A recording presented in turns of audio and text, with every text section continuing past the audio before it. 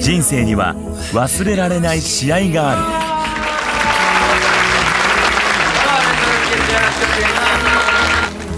車に乗せて車乗っけてこれでキラップ5回転フェス愛してくださいよ。けてもうて意味ないやろめちゃくちゃアホや吉本の若手を代表する人気漫才コンビ吉田たち。実力派として知られる彼らは2017年いくつもの賞レースを制していた。しかし気合十分に臨んだ m 1グランプリでまさかの出来事が。会場を爆笑に包みながらも準々決勝で敗れ去ったのだ。絶望ですね。もうもうお笑い考えんのも嫌なぐらい落ち込みましたけど大好きなセレッソ大阪が救ってくれました。小学校から高校までサッカー部だった吉田たちは堺市出身ということもあり少年時代からセレッソの熱烈なサポーター。お笑い芸人となった今も時間を見つけてはホームゲームに足を運んでいる。確か m 1の準々決勝が11月の2日で準決勝の進出者発表が11月の4日のお昼やったんです。ちょうどその日がルヴァンカップの決勝戦の日やったんですよ。m 1の敗退が決まった直後楽屋で見ていたルヴァンカップの決勝戦。2000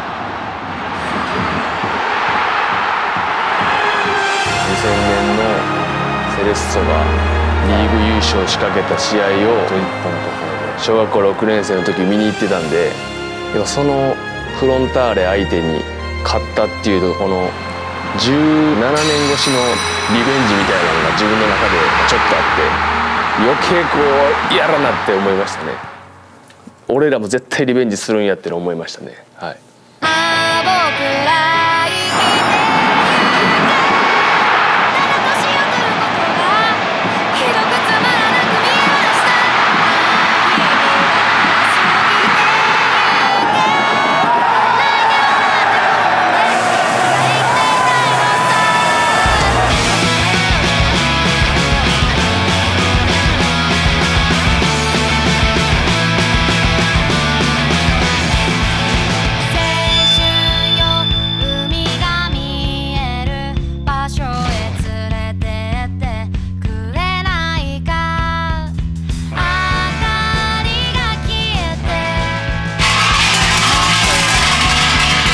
今日もセレッソが素晴らしいサッカーで勝利しますように。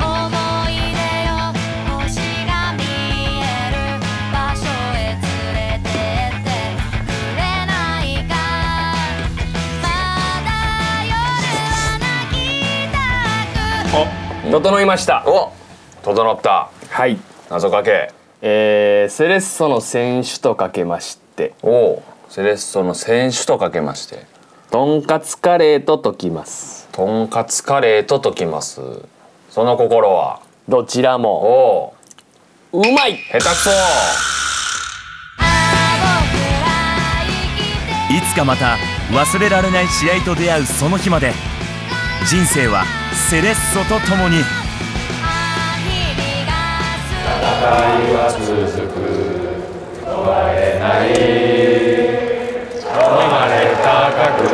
勝利こそあれ。